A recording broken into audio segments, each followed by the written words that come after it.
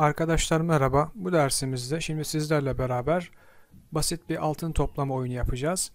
Bir aralar benim de deli gibi oynadığım Altın Avcısı isminde internette bolca örneği mevcut olan bir oyun oluyor kendileri. Arkadaşlar oyunumuzun hikayesi oyuncular topraktaki madenleri toplayarak hedef skoru geçmeye çalışacak. Yani hedef para miktarını geçmeye çalışacak. Nitekim madenler olarak da arkadaşlar altın olacak, elmas olacak ve taş olacak.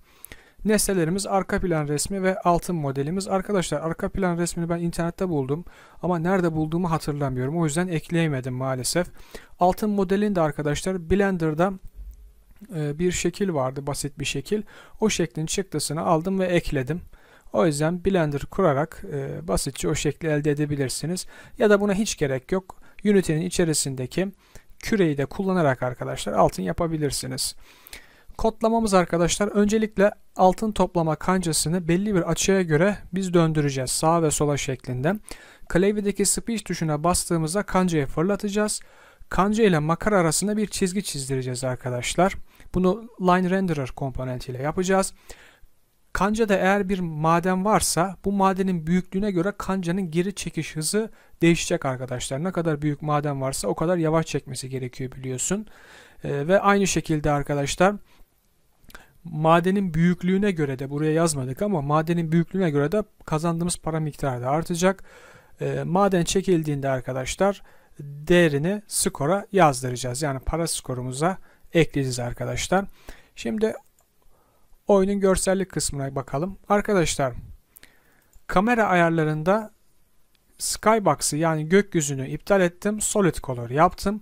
Bunun haricinde bakış açısını yani projeksiyonu da e, perspektifti. Yani 3 boyutlu bakış açısından ortografiye yani 2 boyutlu bakış açısına çevirdim.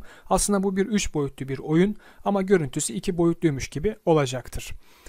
Işığımızda herhangi bir değişiklik yok. Bu sınırlarımız arkadaşlar ekranımızın sınırları oluyor. Görünürlükleri kapalı. Hepsini açalım görünürlüklerine. Evet.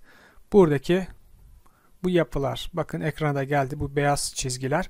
Bunlar arkadaşlar kanca çarptığında geri gidecek. Yani hiçbir madene temas etmediği anlamına geliyor. E, geri gidecek. O hususta biz bunları kullanacağız. Yani sonsuza kadar kancamız gitmesin diye. Bunun haricinde arkadaşlar makaramız var. Makaramızı göstereyim. Şurada. Bakın bu üstteki bu simge siyahın üstündeki aynı zamanda bu altta da şurada küçük bir şekilde gözüküyor. Bunu ben döndüreceğim ve bunun child'ı da kancası arkadaşlar. Bu siyah küp kancası. Dolayısıyla makara döndüğü için child'ı yani çocuğu olduğu için o da dönecektir. Bunun içerisinde arkadaşlar makaramızın içerisinde box calendar var ve dön isminde bir script dosyası var. Kancamızın içerisinde de arkadaşlar Box Calendar'ın haricinde Istrigger özellikle rigid body'si yani fizik komponenti var. Burada da arkadaşlar e, Freezy Rotation kısmı bu John Straint kısmındaki Freezy Rotation kısmını üçü de kapalı. Yani hiçbir şekilde açısı değişmeyecek anlamına geliyor. Kanca script dosyamız var. Bu kancayı kontrol eden ve line renderer var arkadaşlar. Çizgi çizmemizi sağlayan komponentimiz. Yani bu makara ile kanca arasında ben sürekli çizgi çizdireceğim. İnce bir çizgi bakın burada görüyorsunuz ayarladım. İnce bir çizgi çizdireceğim arkadaşlar. Madenlerimiz var. Madenleri arkadaşlar ben e, cisim isminde bir prefab belirledim ve bunları sürükleyip bıraktım arkadaşlar. Şu an ekranda görüyorsunuz. Ancak kodlamasını şu şekilde yaptım bu madenlerin. Cisim ismi, isminde bir script dosyası oluşturdum ve birazdan göstereceğim. Bool türünde 3 tane değişken var. Taş, altın ve elmas şeklinde. Bunlar hangisine biz tik koyarsak burada Inspector panelinde ona dönüşecek arkadaşlar. Altına koymuşsak sarı renkli olacak. Elmasa dokunmuşsak bu şekilde mavi olacak. Taşa dokunmuşsak da gri, siyahımsı, grimsi bir hal alacak. Tabi bunları da materyallerle sağlayacağım. 3 tane materyal oluşturdum. Altın materyali, taş materyali ve elmas materyali. Yani seçime göre arkadaşlar bu materyalleri bu nesneye atıyorum. Tabi tagı da bunun arkadaşlar cisim isminde. Cisim şeklinde bir tagı etiketi var. Yönetici script dosyamız var. Bu da oyunumuzu yöneten script dosyamız. Yani biliyorsunuz oyunumuza belli bir saniye olacak. Bu oyunlarda olur. O saniyeye kadar hedef bir tane para miktar olur. O parayı geçmeye çalışırız arkadaşlar topladığımız madenlerle ve bunları kontrol edecek. Oyunu kazanıp kazanmadığımızı denetleyecek. İki tane kanvasımız var. İlk kanvasımız arkadaşlar Word Speech özellikli render mod yani 3 boyutlu nesneymiş gibi. Bunda içerisinde arkadaşlar arka plan resmimiz var. Şöyle göstereyim daha iyi anlarsınız. Bakın arka plan resmimiz var. Burada. Bakın madenler aslında ondan ayrı görüyorsunuz. 3 boyutlu bir oyun olduğu için. Arabamız var. Yani araba dediğim şunu ben Paint ile çizdim arkadaşlar. Buradaki şunu. Madenci arabasını. Onu image olarak ekledim. Simgemiz var arkadaşlar. Kanalımızın simgesi oluyor. Gülen yüz. Ve onun yazısı arkadaşlar. Konuşan adam şeklinde. Ve altınları arkadaşlar. Şu arabanın üzerine eklediğim altınlar oluyor. İkinci kanvasımız arkadaşlar bu da Word olarak değil de Screen Speech özellikle yani ekranla bütünleşik anlamında skala modu skala with screen size diyerek arkadaşlar hangi çözünürlük olursa olsun uymasını söyledik. Referans çözünürlüğünü girdik. Full HD yaptım ben bu oyunu arkadaşlar. Bunda içerisinde para text dosyamız var. Sol üst tarafta para text dosyamız yani burada bu kazandığımız parayı gösterecek. Hedef para text dosyamız bu alttaki geçmemiz gereken miktarı gösterecek. Ve sağ üst tarafta da saniye text dosyamız var arkadaşlar. Prefab'dan bahsedeyim. Arkadaşlar cisim isminde tek bir tane prefabım var. Bu maden aslında. İçerisinde cisim isminde script dosyası var. Burada bilmeniz gereken birazdan da göstereceğim size. Taş, altın ya da elmas olduğunu seçiyoruz ve ona göre bir tane materyal eklenecek ona. Bu materyal arkadaşlar örneğin elmas materyalim şu şekilde mavi renkli. Taş materyalim bakın gri renkli seçili. Ve cisim isminde bir materyalim de bu var. Bu aslında altının materyali oluyor. O da sarı renkli. Ve bu materyalleri ben zaten public olarak tanımladım. Hangisini seçmişsek otomatik olarak o eklenecektir ona. Şimdi kodlama kısmına geçelim. Arkadaşlar öncelikle yönetici script dosyamızı anlatayım. Oyunu kaybedince sahneyi tekrar yükleyeceğimiz için Screen Management kütüphanesini ekledim. Sonra arkadaşlar sahneye parayı ve hedefi göstereceğin text dosyalarını ekledim. Toplam saniye değerini barındıracak içerisine o değişkeni belirledim. Toplam topladığımız parayı gösterecek. O yüzden int türüne bir değişken belirledim. Ve ulaşmamız gereken hedefi gösterecek int türünde bir değişken belirledim. Start fonksiyonu içerisinde arkadaşlar hedef para değişkenimizi bakın gösterdim değerini. Nitekim bu public özellikli olduğu için inspector panelinden ben bunu belirleyeceğim. Sonra arkadaşlar bir, her bir saniyede bir çalışması gereken bir fonksiyonu çalıştırıyoruz. Saniye azalt isminden. Saniye azalt fonksiyonu da arkadaşlar her çalıştığında yani bir saniyede bir toplam saniye değerinden nitekim bunu da inspector panelinden bu saniyeyi biz belirleyeceğiz. Toplam saniyeden bir miktar önce düşecek. Bunu text dosyamızda gösterecek. Eğer toplam saniye sıfırdan küçük ve veya eşitse bu ne demektir? Saniye bitmiştir. Artık e, hedef parayla topladığımız parayı karşılaştırmamız lazım demektir. Bakın toplanan para hedef paradan büyük veya eşitse ekrana diğer bölüme geç yazdırdım debug log konsol penceresinde. Yani buraya arkadaşlar aslında ikinci levelinizin olduğu sahneyi yükleyen kodunuzu yazmanız lazım. Ben ikinci sahneyi yapmadım. Tek sahnelik bir oyun yaptım örnek olsun diye. O yüzden buna şu an konsol penceresine bu yazıyı yansıtacağım. Eğer eşit değilse yani bu ne demektir? Hedefe ulaşamadık demektir. O yüzden bakın aynı sahneyi tekrar yüklüyorum arkadaşlar çalıştırıyorum. Cisim arkadaşlar arkadaşlar geri çekme hızını belirleyen bir tane değişkenimiz var. Nitekim madene tutunduğu zaman arkadaşlar geri çekme hızının madenin büyüklüğüne göre yavaş ya da hızlı olması lazım. O değeri barındıracak. Para değeri biliyorsunuz madenin büyüklüğüne göre yani altınsa ve büyükse e, daha fazla para bize kazandırması lazım. Küçük altınsa daha az kazandırması lazım. Bunun değerini içerisinde barındıracak. Bakın bool değişkeni 3 tane taş altın elmas ve 3 tane de materyali. Yani hangisi true ise o materyal atanacak. Bakın start fonksiyonu içerisinde dedik ki geri çekme hızı transform lokal skala x yani büyüklüğü neyse lokal skalası neyse nesnemizin e, geri çekme hızı da odur anlamına geliyor bu arkadaşlar. Eğer taş true ise arkadaşlar bakın get component diyerek mesh renderer'ı çağırıyorum. İçerisindeki materyal değerine erişiyorum ve taş materyalini ona atıyorum arkadaşlar. Sonra para değerini de geri çekme hızıyla aynı değer de yapıyorum. Ve başına bakın parantez içerisine int yazıyorum. Bu arkadaşlar bu float türü olduğu için bunu int türüne çevirme, çevirmem lazım. Neden? Çünkü para değeri değişkenimizin türü arkadaşlar int bakın. O yüzden geri çekme hızı da bakın float türünde olduğu için int türüne çevirmem lazım. Bunu da arkadaşlar parantez içerisinde int yazarak baş kısmına e, bunu yapabiliyoruz. Geri çekme hızı ne kadar büyükse yani skalesi ne kadar büyükse para değeri de o kadar artacaktır taşta. Aynı durum altın içinde geçerli. Bu sefer altın materyalini atıyorum ama geri çekme hızının 3 katı oluyor arkadaşlar. Dolayısıyla taştan daha değerli bir madendir biliyorsunuz altın. Onun 3 katı.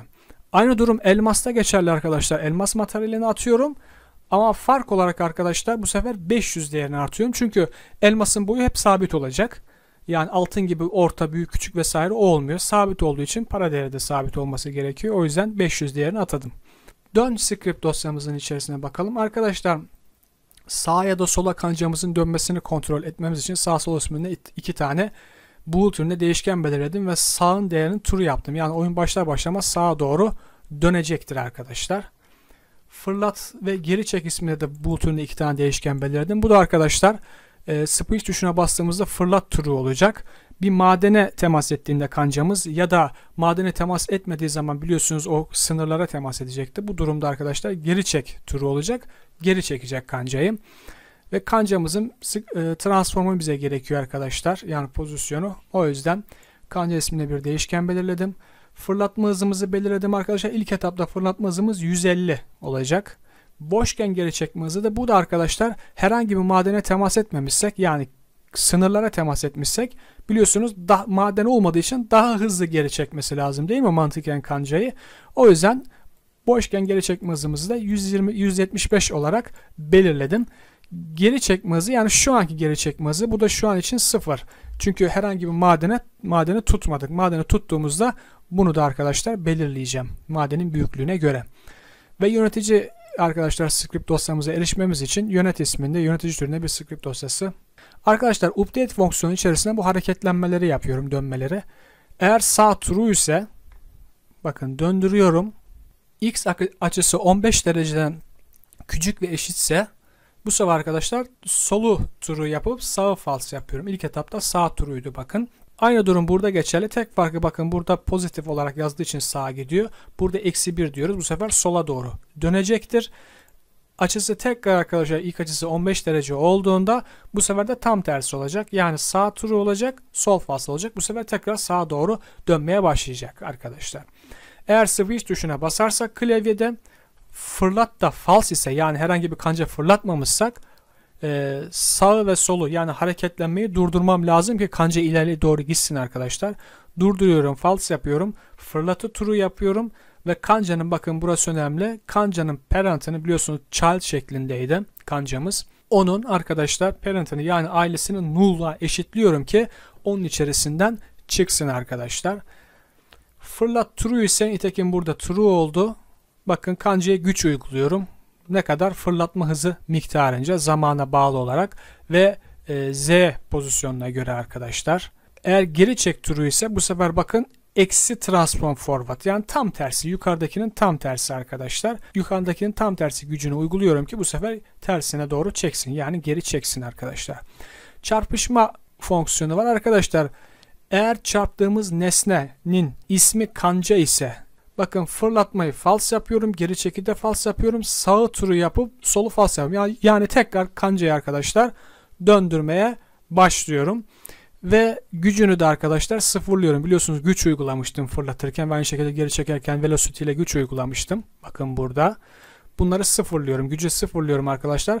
Ve tekrar parent diyerek çocuğu yapıyorum şu anki nesnemizi. Şu anki nesneden kastım ne arkadaşlar? Buradaki makaramız. Bakın burada child idi null yaptım. Tekrar child yapıyorum arkadaşlar.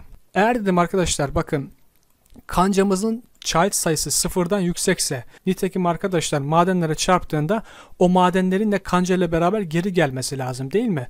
Ben de işte bunu madene çarptığında madenin ailesi olarak kancayı atayacağım. Dolayısıyla child sayısı bakın child joint'la bulunur bu. Child sayısı eğer sıfırdan büyükse bu ne demek? Bir, en az bir tane maden var içerisinde demek. O yüzden arkadaşlar bakın yönetici script dosyamızın içerisindeki para arttır fonksiyonu çalıştırıyorum ve parametre alan bir fonksiyon bu. Bu parametre olarak da arkadaşlar kancamızın çocuğunun içindeki arkadaşlar cisim script dosyasına ulaşıp para değeri değerini alıyorum. Bakın burada başlangıçta belirlemiştik para değerini hatırlarsanız. Bakın buralarda belirledik. Bu para değeri neyse onu alıp arkadaşlar gönderiyorum. Yönetici script dosyamızın içerisindeki para arttır fonksiyonuna ve arkadaşlar o child'ı siliyorum. Yani altın ya da elması neyse ya da taşı siliyorum arkadaşlar. Geri çekme hızını tekrar eski haline yani boşken geri çekme hızına çeviriyorum. Bu yönetici script dosyamızın içerisinde de arkadaşlar anlatmayı unuttuk. Bakın burada küçük bir fonksiyonumuz var. Para arttır şeklinde parametre alıyor int türünde. Bu aldığı değeri arkadaşlar toplanan paraya ekliyor ve bunu da arkadaşlar ekranda gösteriyor. Basit bir fonksiyon. Şimdi gelelim kancayı kontrol eden script dosyamız. Arkadaşlar ip çizdireceğim için line renderer için ip isminde line renderer türüne değişken belirledim. Buradaki küp dediğim arkadaşlar makaramız oluyor. Dön ismindeki script dosyamıza, az önceki script dosyamıza ulaşmam gerekiyor. Start fonksiyonu içerisinde arkadaşlar bakın yukarıdaki makara değişkenimizin değerini bulup atadım ona. Sonra arkadaşlar çarpışma fonksiyonu içerisinde eğer çarptığı nesne cisim ise bu ne demektir? Ya taş olacak, ya altın, ya elmas. Üçünden biri olabilir. Öncelikle bakın dönmek script dosyamızın içerisindeki geri çek değerini true yapıyorum. Sonra geri çekme hızı isminde bir değişken belirleyip çarptığım nesnenin geri çekme hızını alıyorum. Dönme script dosyamızın içerisinde arkadaşlar geri çekme hızı değişkenimize değer olarak arkadaşlar boşken kendi içerisindeki boşken geri çekme değerinden arkadaşlar buradaki aldığımız geri çekme hızını iki katını çıkarıyorum. Böylelikle arkadaşlar geri çekme hızı ne kadar e, madem büyükse o kadar azalacaktır. Eğer arkadaşlar öyle zamanlar olabilir ki örneğin çok daha büyük maden koyarız. Geri çekme hızı sıfıra düşebilir veya sıfırdan da az olabilir. Bu durumu engellemek için böyle bir if bloğu kullandım arkadaşlar. Eğer sıfırdan küçük veya eşitse 20 olsun. Yani en fazla 20'ye kadar düşebilir arkadaşlar geri çekme hızı. Sonra arkadaşlar biliyorsunuz madeni aldık geri çekiyoruz. Geri çekerken bu madenin artık çarpışma özelliğini kapatmamız lazım. Diğer madenlere de çarpmaması lazım. Dolayısıyla bakın collider'ını kapatıyorum. Enablet false diyerek erişip kapatıyorum. Ve ailesini olarak arkadaşlar transformu yani kancayı atıyorum arkadaşlar. Böylelikle kanca hangi hareketi yaparsa o da onu yapacaktır. Yani kanca geri giderken o da geri gitmiş olacaktır. Eğer arkadaşlar cisme çarpmamışsak else ise sadece geri çeki türü yapıyorum. Böylelikle normal geri çekme hızında geri çekecektir. Update fonksiyonu içerisinde arkadaşlar çizgi çiz ismindeki fonksiyonu sürekli çalıştırıyorum. Bu da arkadaşlar bakın set position 0 diyerek bu başlangıç noktası çizginin oluyor 0 indeks numarası. Transform position yani biliyor transform dediği bu kancanın pozisyonu başlangıç noktası. Bir de arkadaşlar bitiş noktası oluyor. O da arkadaşlar küp position. Küp position'da biliyorsunuz makara oluyordu. Buraya belirlemiştik. O. Evet arkadaşlar kodlamamız bu şekilde. Gerekli değerleri mutlaka atamanız lazım. Örneğin e, buradaki cismi sürükleyip bıraktınız arkadaşlar. Bakın cismi sürükleyip bıraktığınızda mutlaka buradan taş, altın veya elmastan birine tik koyacaksınız. Nitekim ben bakın bazısına taşa koydum, bazısına altına, elmasa. Bunu koyacaksınız ki bu materyalleri atasın arkadaşlar. Ona göre de tabi geri çekme hızını ve para değerini de belirleyecek. Bunu mutlaka yapmanız lazım. Bunun haricinde yönetici script dosyamız içerisindeki text dosyalarımızı atayın. Son arkadaşlar örneğin şu an için ben toplam saniye 100 belirledim burada. Hedef parayı da 500 belirledim. Örneğin siz ikinci levele geçtiğinizde bu toplam saniyeyi örneğin daha da düşürebilirsiniz zor olması açısından. 90'a düşürürsünüz ya da 80'e. Ulaşması gereken parayı ise 1000 yaparsınız mesela. Gittikçe zorlaşır bu sayede. Evet oyunumuzu çalıştıralım arkadaşlar. Bakın bazısı altın oldu, bazısı elmas, bazısı da taş. Bakın bu bize 150 kazandırdı görüyorsunuz. Şimdi taş alalım.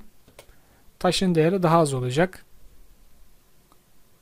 Evet bakın 200 oldu. Yani 50 kazandırdı bize. Şöyle büyük bir altın alalım. Bakın daha yavaş geliyor altın görüyorsunuz. Yani büyüklüğüne göre kendi hızını ayarlıyor. Bu dersimiz bu kadar arkadaşlar. Videoyu beğendiyseniz beğenmeyi, yorum yapmayı eksik etmeyin. Kendinize iyi bakın. Hoşçakalın.